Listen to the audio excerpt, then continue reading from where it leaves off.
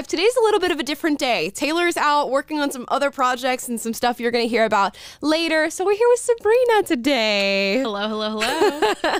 and uh, we're going to be talking about a subject matter that I think has just been circulating and popping back up every time I'm on social media, particularly on TikTok.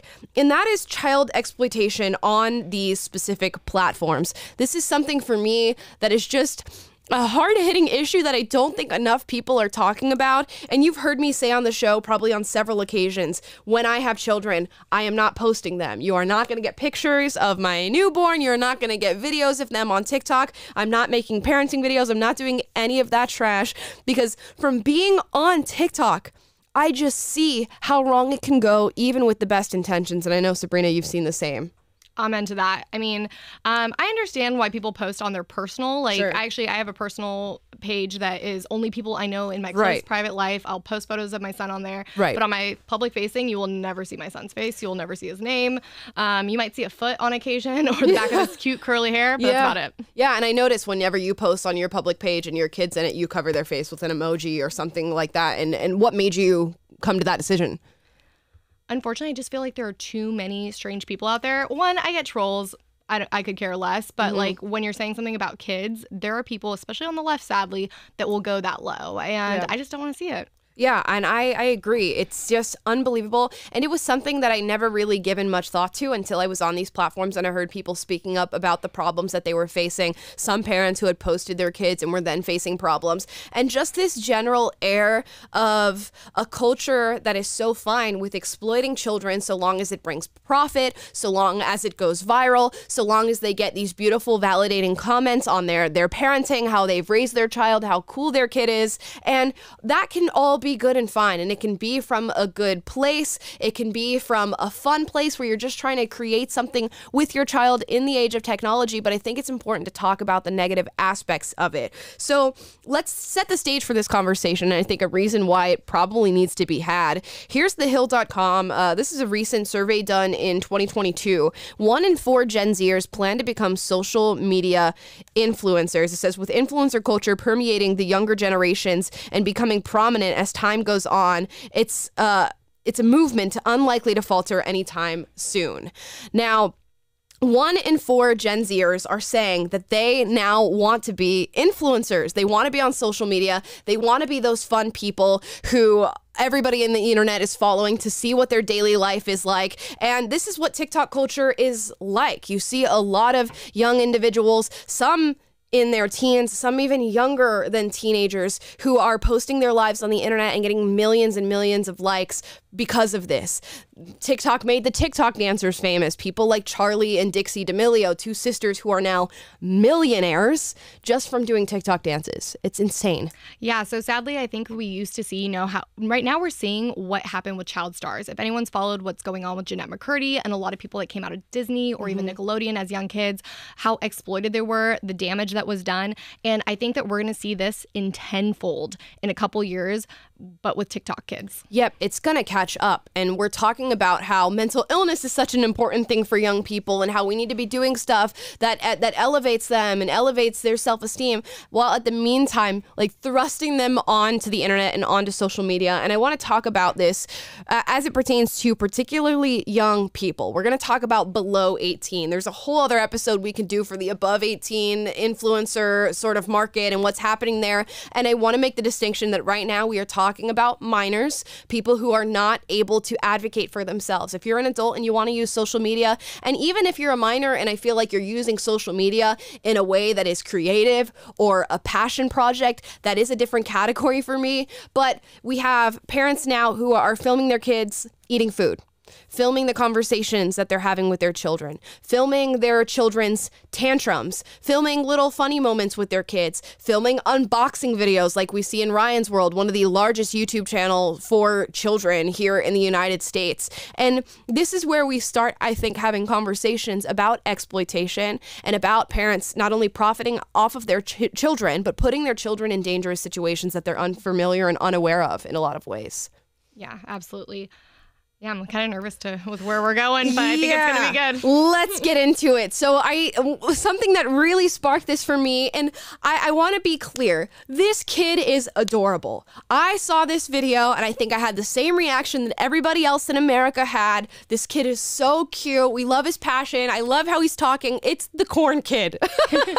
I know this sounds crazy. I'm sure you all are semi familiar, and if you're not, I'm gonna make you familiar with him. We want to do our best in this episode episode to show as few of these children as possible. So much of the conversation we're going to be having surrounding these kids is just going to be talking and describing them to you. However, I am going to show you this corn kid video because I mean, it is sword. I don't think there's a person around who has not seen this video, and we'll get into the reasons why and sort of things that have happened subsequent to this video. But let me show you it. It is very cute.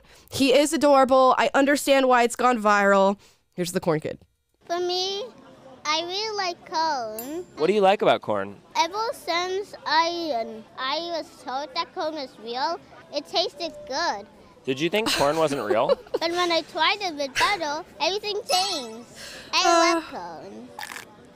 Mmm, corn. Do you think everyone should be eating corn? No, not everyone has to like it to be the best. Yeah. Everyone just has to try it. Have a day. so what else cute. are your favorite Super things? cute. I play a variety of games. Hide and seek. Okay, I'm gonna pause it there. Basically, he goes on in the video to just talk more about how much he loves corn. And this video went, I mean, internationally viral, viral, viral. Everybody's seeing, everybody's talking about how much they love the corn kid. They love his passion for, for corn. I feel like he's kind of like the new um, I Love Turtles kid.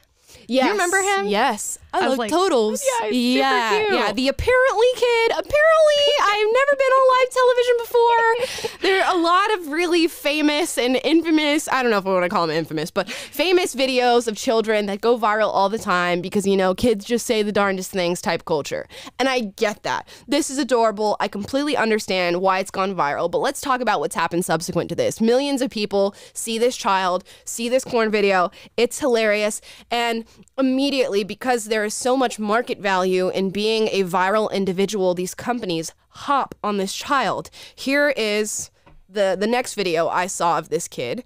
1.2 million likes on this, but it's not him making a video. It's Cameo. And for those of you who don't know what Cameo is, it's an app that celebrities and influencers can use, and everyday people who want a cameo video from that person can purchase it from them and get them to say whatever they like. If I put myself on Cameo, you guys could message me, pay me, and say, Could you say happy birthday to my grandma? And I'd make that video for you and send it over. Here's the Corn Kid, uh, days after he goes viral on Cameo. Hello, Cameo fans. Have a fantastic day and not to worry because Sweet Corn season is on through September. That's enough of that. So immediately because we see that we can capitalize on the views that this kid is going to get sheerly from being cute and adorable we throw him on cameo and it's not just cameo here's chipotle this video got 28 million views 28 million views more views than chipotle has had on any single ad they've put out on their tiktok yet No, thank you. and meat? No. Mild? No. Sour cream? No. Any corn? It's corn. You want to? And I hope I hope at the very least this kid is like making his college tuition doing this stuff so mm-hmm. at least it's valuable in some way. But and I know people are going to see this and be like, "Well, what's wrong with that? If he's going to make a quick buck off of this corn video, isn't that really good? Isn't that good for his family?" And in ways it is, and I can see where a parent might make that decision for their child, but you have to think about like the long-term ramifications of this. The Chipotle one, okay, I see it. It's a Chipotle ad. The Cameo one particularly concerning because who in their right mind, other than maybe like a young girl who thinks he's super cute, like a, a mom or something, mm-hmm. is going to pay for a video of your child talking to them? Who? It's really odd. I want to bring up someone. Do you remember Mason Ramsey?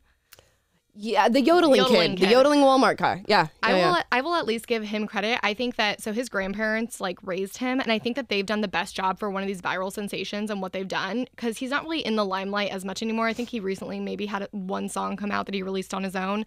But um basically what happened is like now he's just like he's working at a Subway, going to school. His his grandparents let him do a couple of the like go on Ellen and have a Mm-hmm. few viral moments and then they like brought him back to normal life, to his normal home and they had him go get a normal job and go to school. Right. And he's like the only kid I've seen really that's come out of this viral sensations that seems like a bit well adjusted. Yeah, and it's insane because, you know, a lot of people will see and be like, well, why are we talking about this? It's one kid or whatever. It's not just one kid. There is a culture of it.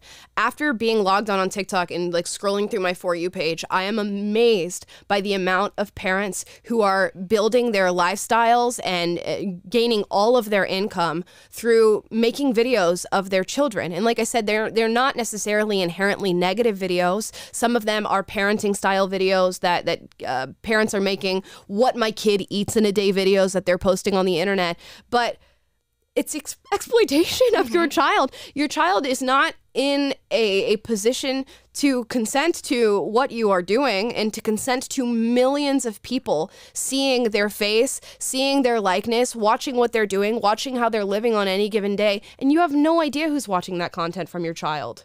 And the internet lives forever. So it's like that's going to follow that kid whether they like it or not. They're not consenting to it when they're young children and you have millions of eyes on it and people that save and screen record. And then what if that follows them in a couple years? You never Yeah. know. And I, I just personally don't think it's worth the risk with kids. Yeah, and I've seen a lot of people coming out and saying, you know, this is child exploitation and it's becoming a debate on the internet. And a lot of people are saying, well, if you're going to call that child exploitation, what about somebody like Ryan's World? Here's Ryan's World page, uh, his page. For those of you who are unfamiliar with him, he's a kid that just does unboxing videos of toys. And because he's so famous uh, among other kids in America, he has 33.2 million subscribers. So, we're talking millions, maybe even billionaire at this point because he has his own toy line. We have brand uh, de- brand deals where brands are sending him toys with hundreds of thousands of dollars. I can only assume at this point just to get him to unbox them live for other children to see, and they've completely capitalized on his likeness and on his reaction to opening up toys. So his whole life essentially is is filmed in on the internet, which just Ah, how many videos would feel- you guess? I have. Let's see. I don't know if it will even tell us how That's many videos he has. Yeah, I don't know if it will if it will even tell us. But look, Wow. look at how many videos this kid has, and he's been doing it. I think for a number of years now. Just video after video after video after video of this young kid, and all of them. Look at that. 66 million views, 2.3 million views, 8.5 million views, 127 million views, 12 million views, 35 million, 20 million. It's insane, and I find it extremely hard to believe that the millions of views that this kid are getting are are all other wholesome children trying to watch him unbox uh, toys. You know what I'd be so curious to know is if any of these kids that like have these big YouTube followings, if their parents when they were little had baby cams that were connected to Wi-Fi or not. This is like a random. I don't even know if you've ever heard of this, but as a new, relatively new mom, my son just turned one yesterday. Congrats. Um, we survived a year. Um, but anyways, he so basically like when you have a, a baby camera, you usually don't want to get one that connects to the Wi-Fi because unfortunately there's a lot of creepy people out there that either for secure because they either want to break into your home or watch your kid, they will hack baby cameras. So the best thing you can do for a baby monitor is get one that doesn't connect to Wi-Fi. Um, and so I wonder how many of these parents had that, but then they go and they post their kids all over social media anyway. Right. So it's at the end of the day, I think a lot of the times it could be a security threat and it's a safety issue for your kid. It is, and this is sort of the next leg of the conversation is the danger that this actually poses to children. And I think the reason that this episode is important, it's not a topic that we usually talk about. We normally stay in, in politics and culture, although this is a cultural problem, it seems to me. I think a lot of parents will unknowingly engage in this sort of activity. Your child's super cute. You want other people to see your child. You think this moment's going to go viral. Let's post it on the internet. But time and time again, people are running into massive problems with this. I was reading today, just to do a little bit of looking into this, about whether or not, uh, you know, Homeland Security is aware of this, whether or not the FBI and the CIA are doing investigations into what's happening on TikTok. And apparently, here's here's what's written here. Between 2019 and last year, Homeland Security investigations of crimes originating on TikTok has risen over 600%. 600%. And if you think about the millions, if not probably a billion users that TikTok has on its platform, think of how many crimes are originating on that platform in particular. I've seen many different issues with parents and mothers who are posting their kids on the internet and then actually looking into the analytics on their pages and finding horrifying things. There was a baby, and I'm not even going to state her name, uh, but I came across many of those videos on the internet, and other moms started going on the TikTok accounts, searching through the followers, and trying to get a look at what the demographics were. And they were skewed heavily in the direction of men heavily in the direction of older men. And TikTok now has an option where you can go and bookmark videos and save them, and you'll see a video of a child eating food, a, a young baby, and it's been seen by maybe a million people, and a hundred thousand people have bookmarked that video. Can anybody else explain to me why that would be the case? And I know there's probably a demographic of women who go, oh my gosh, that's really cute, bookmark. What a cute kid. But is it a 100,000 women who are bookmarking those videos? It's crazy because where do you think this stems from? Because I personally, you know, being a new newer parent, like I think a lot of it, parenting is already a very insecure thing. You never know if what you're doing is right. Um, so I think that there are. I'm noticing a lot of millennial moms, especially, po- they're the ones that are driving this, like posting their kids on social, and I don't know if they're seeking validation, whether it's for parenting or for what's the focus of their life, and if that's where they're, why they're putting it out there. What do you think it could be? I I think so there's so many different stages to this. I think it is like look at my child, look at what I created, and I think there is a certain pride in that and I think that's great. It's also look at my parenting skills, look what I'm doing with my child. There's another part of that. A validation, people telling you your kid's so cute, I think that's probably one of the main drivers of it. There's mm-hmm. also monetary gain, which is something that I'm seeing a lot of young women doing on the internet who are now new moms is making videos with their children and these videos are getting I, when I millions of views, millions of views, hundreds of thousands of likes. And if you're aware of how TikTok works, how the creator fund works, how sponsorships work, you're talking thousands upon thousands of dollars for videos of your child. And that's an easy thing to do. Your child's right there, your phone's right there. Why not take the video? Why not talk about how you raise your kids? There's now mommy bloggers and mommy mommy vloggers who are videoing their day with their children because they're stay-at-home moms. And if that's making you supplemental income, why would you not do it?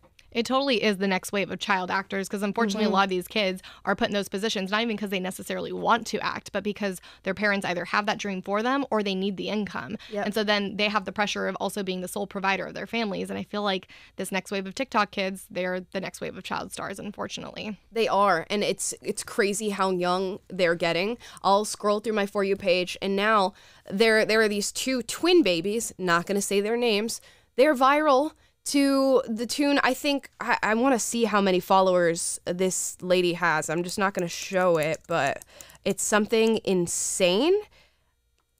8.8 million followers. A mom who just takes videos uh, parenting her two twins. Oh, I've seen her. 8.8 million vi- and a lot of it of course is the mom's personality is cool. People identify with the mother. They want to follow her. But again who's following you raising your two twin babies? Mm-hmm. It's very insane to me. And with 8.8 million followers on tiktok that's your job. You don't need another job. You don't have to work for any other income. That is your job Yeah, and I do think that there are, but unfortunately, I think it's more of the minority of these parents that are um, doing this in the best interest, or maybe financially to help their kids go to college and to do certain things. sure. Like I know a lot of that's could be a factor for people getting their kids into acting, but I don't think it's a majority. I think a lot of it, unfortunately, is ego driven or insecurity driven. But also red flag, you know, like the emoji with like, or how people will do a tweet and then they put a bunch of red flags. Mm-hmm. It's like when they have um, a social media handle for their unborn child. Have you seen influencers doing that? Yep. Where they have handles for their kids before they're born. Yep. It's so insane to me, guys. Like, I feel like we're we're headed to just like this dystopian, technologically connected from the day you're born era, and it's wild. Like the age of these people who are becoming famous, and apparently, uh, in, in doing some reading on this, TikTok is having particular problems as being a hotbed for child trafficking and children selling explicit photos of themselves on the internet because TikTok has a private account feature where you can private your account, right? And nobody can see what you what you are posting unless they are following you. And now this is insane. There are children, young kids, I'm talking like 7 to 13 years old who are creating these private accounts on TikTok, posting naked videos of themselves, and having men follow them on private accounts. Oh my gosh. Isn't that insane? Isn't it crazy? And it's becoming a just more and more of a problem on TikTok because their their regulations on the platform are are just unbelievable. And I was reading into the algorithm on TikTok as well. If you're a young child who is on TikTok and you linger on a video for a certain amount of time, it tracks the lingering. It also tracks your your fingers as they move on the screen, what you're interested in, whether or not you're looking at the comments, and the algorithm pushes sex related and drug related content to young people. So they see those videos, they linger on them and go, Well, I don't know what's going on here. Or, oh, this girl's shaking her butt on the camera here. And they linger, and the algorithm goes, Oh, you're interested in that? Let me give you 10 more videos. You watch those 10 videos, let me give you 50 more videos. Then it becomes 100 more until your entire platform is exactly that. And it's doing it to younger, younger users. PSA, get your kids off TikTok. I don't care. As long as they're under 18, get them off ASAP. You are the parent. I think it's worth it. It's not worth the risk long run. It is not worth the risk in the wrong one. And in, in speaking on that, let's talk about another story of a TikToker who happens to be 15 years old. Not going to show her picture, uh, but we are going to scroll down. So I don't even know if I should give this girl's. Uh, Sure. I mean, the, the story's all over. It's in it's in headlines everywhere. Uh, her name is Ava Majury. And Ava Majury was a TikToker and is a TikToker. And actually, I will show one of her videos.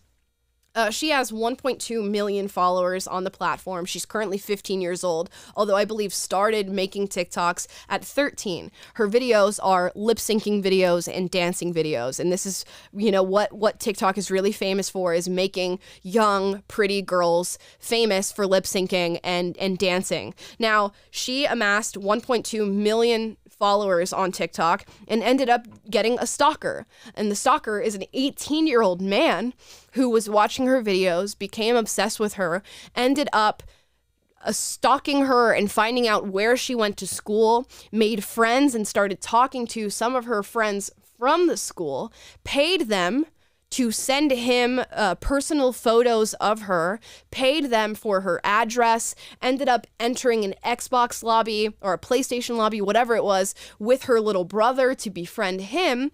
And this all came to a head when he got her address, showed up, tried to shoot into her house with a shotgun and bust the door open, and her father, who was uh, apparently a former police officer, had to shoot and kill him. Wow.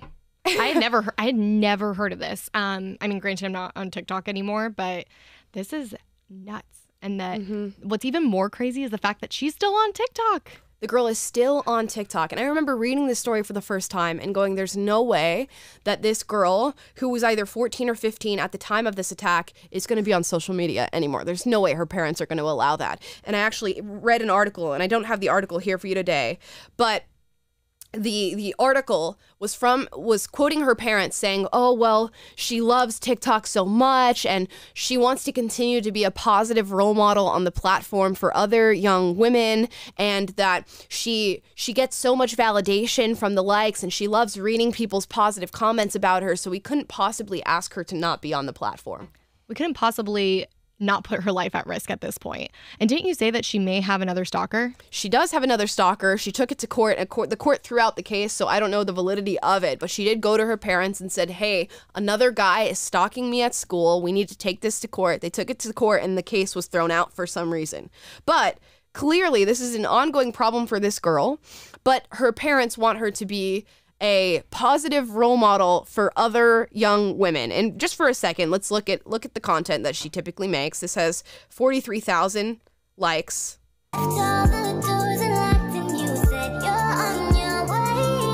She lip syncs in videos, and apparently this is positive social media content that other young people need to see, and that her, their 15 year old should be should be uh, posting on the internet. And if you just take a quick minute to scroll through the comment section, you'll find that it's overwhelmingly male names: Jack, Caden, Aiden, Adrian, Brian, Frank, Cade, Ryan, Jesse, Gabe, Robert, Ryan.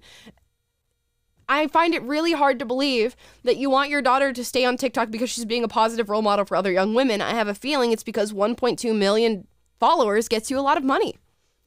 That's what I'm thinking. And I'm thinking parents are are noticing how how big of a market there is for this and then going, "Oh yeah, well we just allow her to do it. You know, she's making money for college. She's doing something that's good for her." Yeah, we kind of talked about this before the show. I could almost understand whether you are conservative or liberal. You know, there's some young people that are wanting to do political TikTok and political activism and that kind of thing that are trying to be role models in that sense. And even if I don't agree with their politics, I can kind of see why they're doing it and why there's a platform and audience for it there. Yep. But for lip syncing and dancing in front of, of a camera, I it's not there. Right. It's not worth it. What could you possibly need that for? And like we said before, with with one in four people saying I want to be on the internet, I want to be an influencer, what does that turn into with parents who are having children? Mm-hmm. I that's going to be it's going to be a, a, a lot of people. It was about like I was reading another article that said, you know, 29 to 40% of people worldwide dream about being an influencer on social media. And you said That's why I'm here. That's why we're on the show today. Catch me at the Catch me at the Sabrina Cosmos. Um, but you said you were watching like the Charlie and the Dixie D'Amelio show. What was that like? Okay, I highly recommend if you're considering putting your kids on social media, if you're one of these parents that we may be talking about, you're a little you're feeling a little guilty right now because you're hoping your kid is in that next viral clip, or if you just want to get your kid into child acting, I would actually recommend watching I never thought I'd recommend this, the D'Amelio show that's on Hulu because it came out and I thought it was going to be like the Kardashians where it just kind of followed these girls, these millionaires now who got mm-hmm. famous just dancing off TikTok, followed them and their families doing all this cool jet setting, spending a lot of money, this and that. It was actually like more so the opposite where it the whole show features the crippling anxiety attacks of these two young girls that skyrocketed to fame, did not know how to handle it, are struggling to balance everything and handle the comments and what people have to say about them, not only just in their comments feed, but like pretty much every news outlet. Every time they do a small thing, whether it's right or wrong, it's blown up on like all over the media.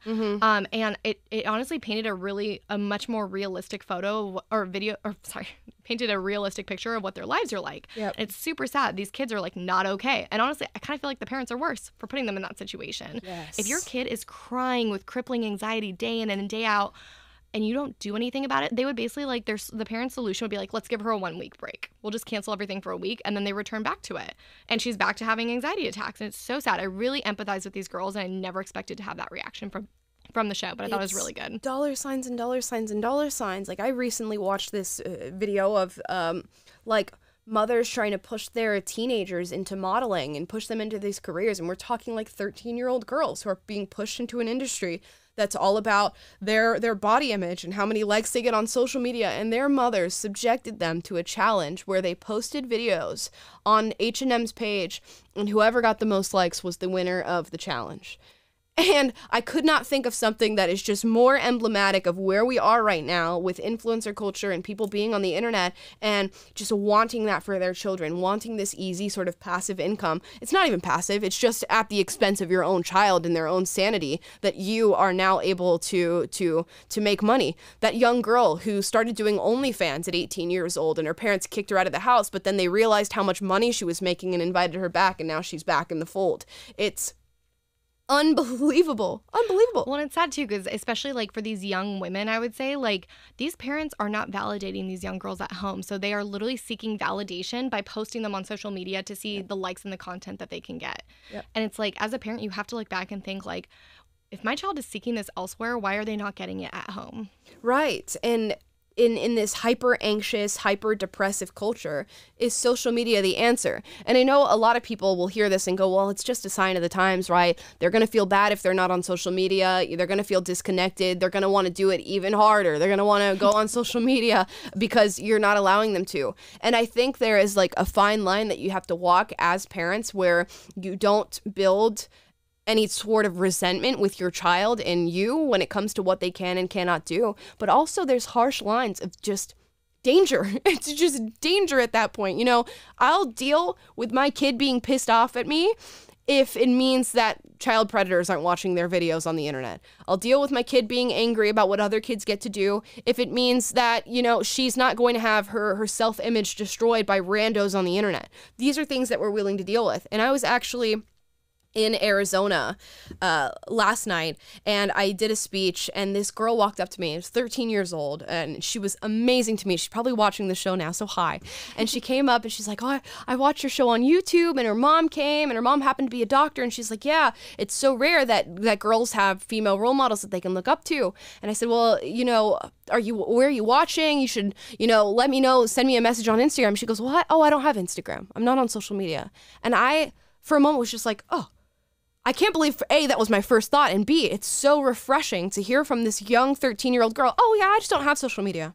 And she was so fine with it because clearly she's equipped with the the critical thinking skills to realize why that's not something you need. And I think as parents, it's just important that, uh, you know, when I get to that stage with my child, just to have the discussion about why it's not necessary and make them feel good in the decision to not have social media.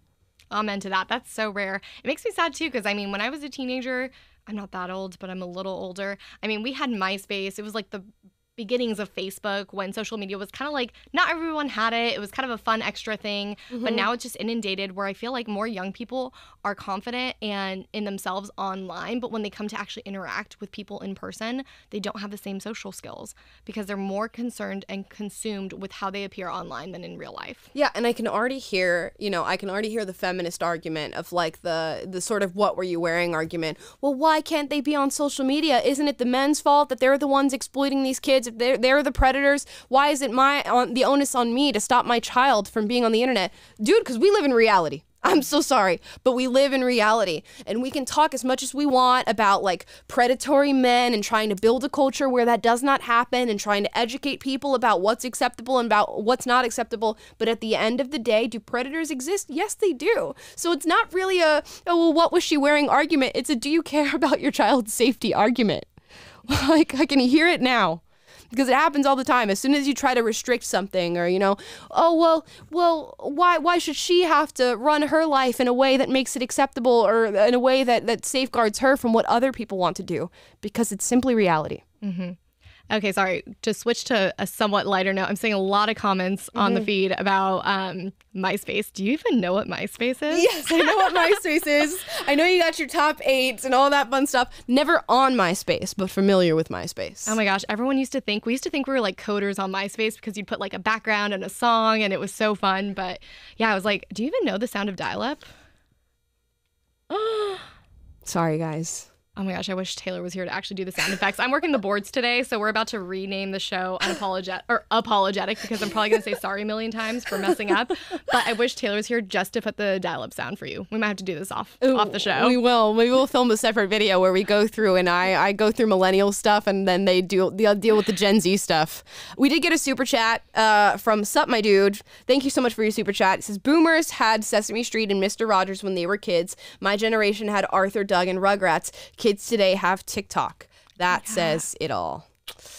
That was deep. Did you see someone did a recent cut of all these old Mr. Rogers clips where he's saying like the most base stuff, all about how boys are boys, girls are girls. Yep. And he reiterates it so many times. I'm like, did Mr. Rogers know that we were going to be here as a society now? Yeah, I, think I honestly think he did. I've I here's lo- love Mr. Rogers. I love him. Mm-hmm. I've I've watched like Won't You Be My Neighbor and all this different stuff and the documentaries that they've done on his life and, and who he was as a person. And just as a tangent, Mr. Rogers like front and center priority for the entire duration of his life was protecting children.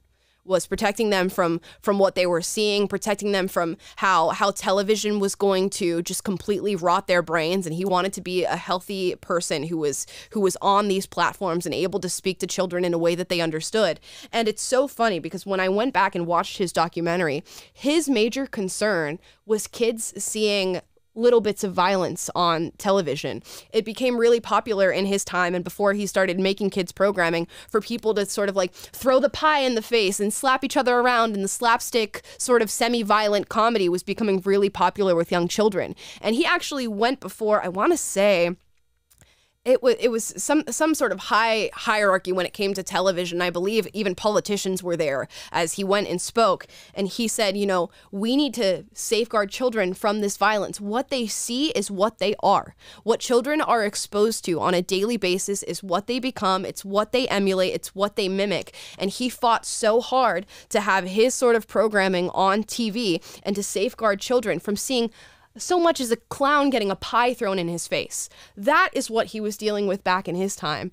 Look at what we're dealing with now. What a precious gem of a man. Man, I like want to get emotional thinking about it. Do you Yep. feel like we have like a Mr. Rogers nowadays? Because right now I'm racking my brain and I like can't think of anyone that's really that eh. positive. I used to think it was Sesame Street, and then Sesame Street went like totally woke the last couple years. Like, get your vaccine, because Elmo told you to. Yeah. Jab me, Elmo. Yeah. oh, it's so dark. it is really dark. I don't know. I'm sure there's stuff out there. You know, I'm Mm-hmm. not as in tune with kids programming as you know other other, other sorts of things. But you would be more so now that you have a child. I mean, obviously we have PragerU Kids content, but I would say that's for like a little bit of an older demographic, more like elementary school, but like really young kids. I'm like, I don't know. We haven't really like let our son watch TV yet because he's still he just turned one, so Right. he's not really. He listens to like Five Little Ducks on loop, and that's about it right now. But it's like a little nursery rhyme. But. Yeah, I mean, it seems to me that it it's gone from people like Mr. Rogers and that old school Sesame Street era, which was obviously super profitable, but less about profit and more about the content and what lessons were going to be learned. Like, I'll, I'll keep harkening on the Mr. Rogers point, but he curated all of his content for the conversations that he was having with children and having those difficult conversations with them in a way that was made for their minds, made for where they were at that time in their lives. Now it is like, how can we produce, produce, produce, shell it out to them? How can we get them watching as many videos as possible? Cocomelon's a great example of that, and I know you wrote a whole article about like, that. do we dive into Cocomelon? Go for it. Ah, man, this is gonna get dark. You guys are gonna think I'm like a crazy child cartoon conspiracy theorist. But Cocomelon, can you look up how many um How many how many subs? subs, subs for Cocomelon? It is insane. and, and f- describe what that is for people who don't know and what Yeah. demographic of children is is watching this. So you probably aren't familiar with Cocomelon, but if you go on Netflix and you see, it's almost always trending on the top 10 on Netflix. It is a kids show that when you initially watch it, it's just a bunch of bright colors, kid, um, these cartoon kids singing like story, uh, what's called like nursery rhymes and little songs. It's like very catchy and cute. Um, but I could not understand because all of my friends' kids were obs- are obsessed with it. To where, and then I, when I used to be on TikTok, I noticed that there was these TikTok trends of people that would um, start Cocomelon and they would see how quickly their kids would react and run to the TV to watch it. And then when they turn it off, they would actually record their kids having full blown meltdowns, like tantrums when Cocomelon went off. And I got, I- I was really curious about it, so I started googling and I found out that Coco Melon was sold to Netflix for like $3 billion, which is out of control because I think Insane. Sesame Street is only worth a couple like a couple hundred million. It's not mm-hmm. really worth that much. I was like, man, why is it worth so much? And why is it always trending? It looks like such a basic show. Mm-hmm. And then I found this other TikTok that totally sent me down a rabbit hole where basically what they did was they compared a scene from My Little Pony and they counted the number of seconds between scene changes. So normally when you watch My Little Pony, there's like maybe like anywhere from like I think it's like three to like eight seconds between scene changes. So even hmm. as simple as like a character's face head on and then at an angle and then like the other character. Right. Whereas when you watch Cocomelon, the cadence is like one to three seconds between scene changes. So what It's insane. happens is when babies are watching this, mm, combined with the bright colors and the music being so catchy and upbeat, it's changing every one to three seconds. So kids' brains are just completely like getting dopamine hit after dopamine hit while they're watching it, making it actually addictive. Mm-hmm. You can call me a crazy conspiracy theorist, but if you've seen a kid watch Cocomelon consistently, you will see it. No, So- people are commenting in the chat down below. They're like, Cocomelon kids are a different breed of child. And it really is true. And it plays into, like you said, the dopamine hits and instant gratification. And as soon as that goes away, much like with young teenagers on TikTok and on social media, as soon as you take it away, the attention span is not capable of comprehending and taking in the real world. Cocaine melon. It seriously is. And by the way, they have 142 million subscribers. Crazy. 142 million subscribers. That's Ryan's World times like five or six. Oh my gosh. insane I- insane so mix children's programming and and what they're watching and constantly being on screens and tablets from the moment they're born with parents filming them putting them on the internet becoming famous for their babies and their toddlers and then their young kids and then their teenagers. Then those teenagers who one in four want to be influencers hop on TikTok start making dance videos filming their lives filming every second of their day in order to achieve the goal of gaining more validation gratification from random individuals who are watching their videos and then growing up into a culture where everybody is constantly consuming social media. Yeah, and I think like something that we can relate to too is like we're not saying your kids shouldn't be exposed to any media or that your kids should be like basically like you can only raise them on a farm to raise them right away from the internet. But I think it's a lot of things within moderation. Unfortunately, we've lost sight of moderation as a society. Like, trust me, we were on an airplane last night with my one year old. And uh, yeah, we screen recorded a couple of his little lullaby songs. And, you know, halfway through the flight, he was getting really fussy. We play it. I'm not going to judge parents like that do some screen time. I mean, we're probably going to be those parents within moderation. But when your kids are constantly watching it and constantly used to being entertained, especially like if you're feeding them and they're used to watching TV while they're being fed, and then when you go to a restaurant setting and they don't have a TV and then they start acting out, it could be like a dangerous thing.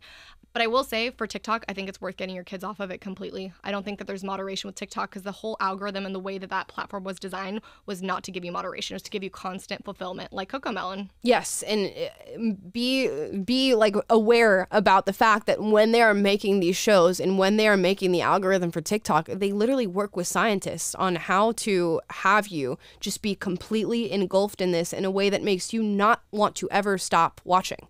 That is their goal. That is their primary driver is on TikTok. How can we just feed what this person is watching over and over and over on a loop and on a loop and on a loop? And with Cocomelon, with those quick scene changes, is how can you never get bored? How can you always have something new to watch? How can it be that we never have a, an ounce of boredom in watching this show? So they just want more and more and more and more and more.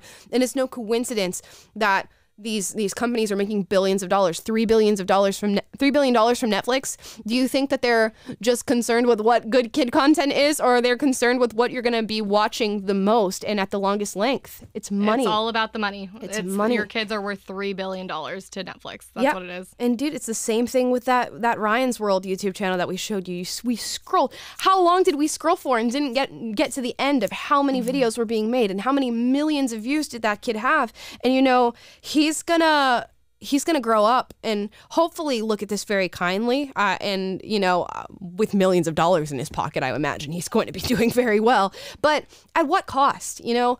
Uh, i have a feeling we're never going to really know the true effects of what this sort of technologically advanced and plugged in culture is going to have on children because nobody's going to put in the work to find that out because apparent it's going to hurt their their bottom line. It's going to hurt the amount of money that they're going to make if people start to wake up to the negative effects of what are happening to children with this sort of stuff. Do you think this Ryan kid opens his presents in front of people at birthday parties, or do you think he's like over it? He's like, He's like, Mom, "I'm so done." camera, I'm off. I'm He's like, if you're not it at home." paying me to open up this gift, I am out of here.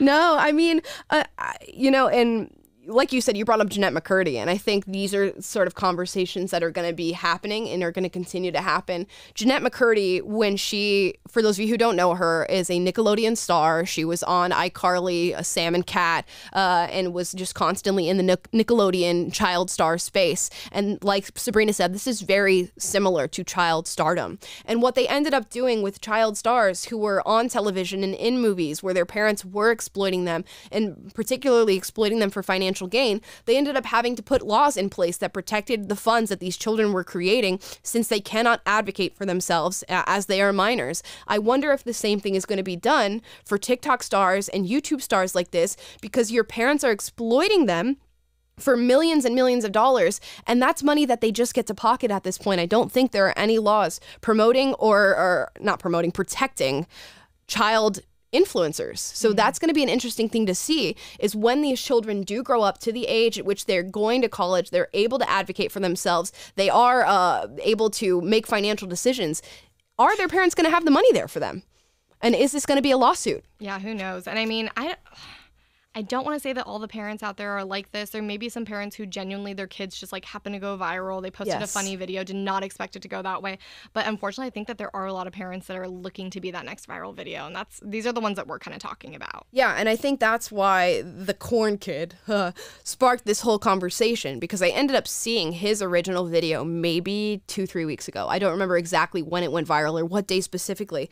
And not even a week later, Cameo is on it. Chipotle's on it. I'm I'm betting right now there's going to be several other companies that come out with ads with the corn kid.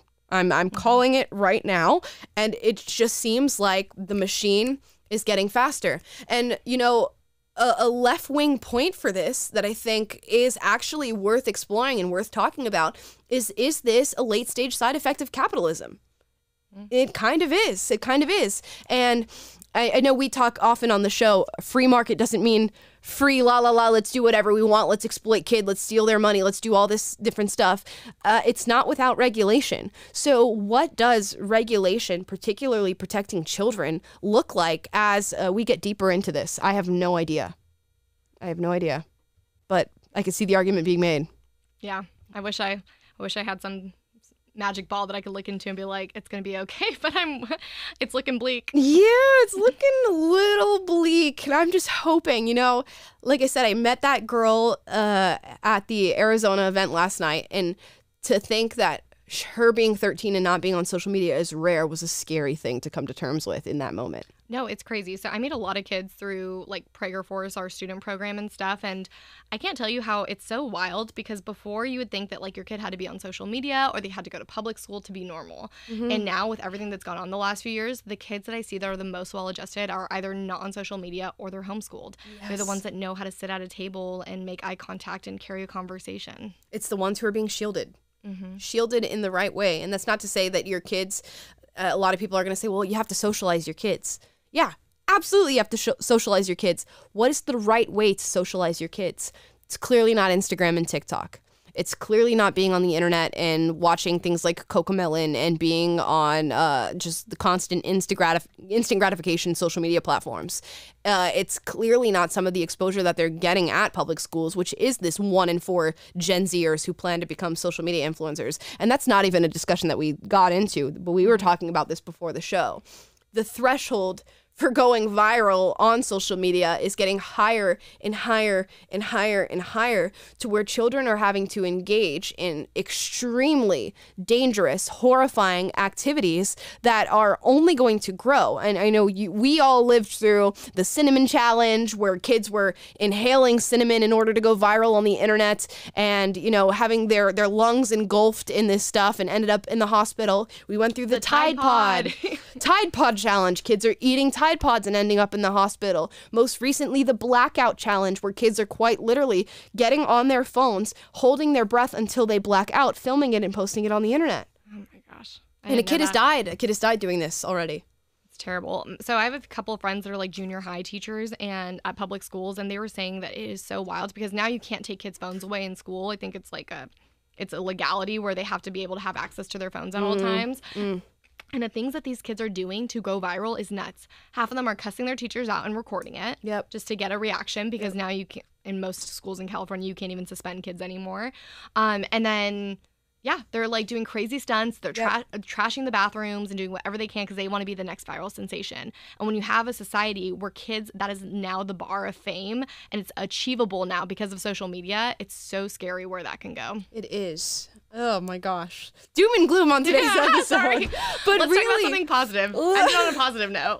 Parenting. Parenting is worth it. parenting is worth it and there are positive ways to parent and I and I am sure that there are parents watching right now whose kids are on social media but they are on it in a healthy capacity and they still have the critical thinking skills to navigate what is good for them and what is bad for them and that is something that is a silver lining that 13-year-old girl that I met a silver lining. The fact that she is so cognizant of what she should and should not be watching and what what platforms she should and should not be on uh, these are all things that i feel like if we equipped our kids with the critical thinking skills to navigate these things they will be fine. It's unfortunate that just so many parents are not taking the time or just unaware of the consequences Yeah, and I kind of touched on this earlier because I wonder where this stems from and if it is like almost insecurity, if it's mothers and parents that are seeking connection and they mm-hmm. almost use their kids to do that. Like the best thing that you can do is go find friends that are parents that share your values. Like it sounds so cheesy, but um I don't know whether it's through church or like connecting with parents through friends of friends, but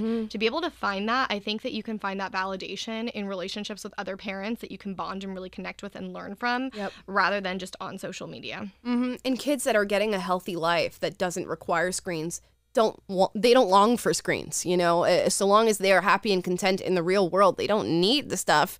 And I think explaining to children and actually taking the time to have the conversation with how much they are inundated with social media to say social media is not real. The real world is so much better. It is so much more fulfilling for you and you are going to be so much happier than every other child around you because you are not on it. Because there is this sense of, you know, the FOMO, the fear of missing out for children that is probably more intense in childhood than it is in any other stage in our lives. When you're looking around at other kids who are talking to each other on Instagram and Snapchat and are sharing TikToks with one another.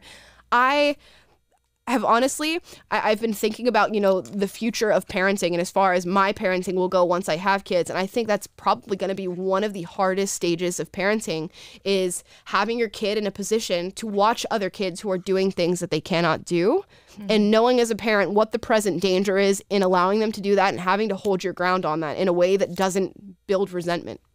Yeah, and I think it comes down to like when you're younger and being a parent and not your kid's friend.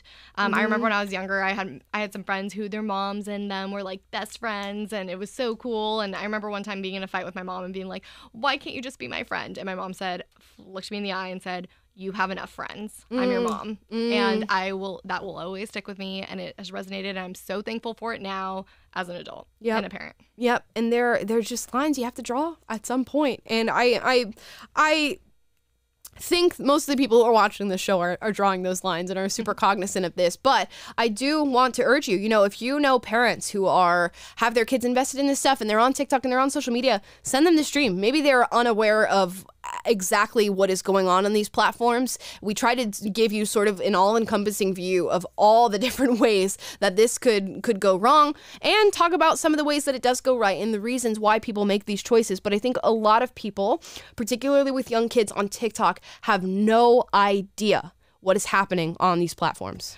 And really quick, it's not even just TikTok. So I don't know if you guys have noticed, but if you go on YouTube and Instagram, now almost every social media platform has a similar um, a similar component to TikTok. So like you'll go on Reels on Instagram, or now YouTube. YouTube has like the short clips, Yep. which are essentially when you're on a phone, it's it's essentially TikTok, but it's on YouTube. So just keep an eye out for what your kids are watching, or like we said, just pull them off. Period. If they're under 18. yeah the kids are not okay and the parents are even worse Yeah. Amen. Uh, and on that note, that is today's show. Thank you so much for watching. If there's a point we did not make that you wish we did, drop that down in the comments below. If there's something where you really agree with us or you have personal experience with, drop that in the comments down below. Uh, and you know, let us know what has been your experience with with these issues. Do you have children and are they on social media? And if so, is it in an unhealthy capacity? Is it in a healthy capacity? Are you having trouble reining it in? What issues are you facing when it comes to social media and parenthood? Anything else, Sabrina? I think that's it. Lord knows I can use the help, but we're trying out here. So I'm very new in the parenthood journey, so I have a lot of a lot of respect for people. Um, I don't know what people look for, but um, when it comes to getting parenting advice, but I know for me personally, I look for people who have raised young, happy, healthy, and successful kids. Like, Absolutely. that is the best. Those are the best people to learn from. Stay happy, stay healthy, guys. And if you like the show, please like, subscribe, click the notification bell to be notified every single time we put out a new video. Every time we go live is typically 3 p.m. Pacific, 6 p.m. Eastern. And if you'd like to listen to the podcast, go to Spotify, Google Play, Apple Podcasts, leave us a five star review. Some people don't like what we have to say and they leave one star reviews, but how could you not like protecting kids?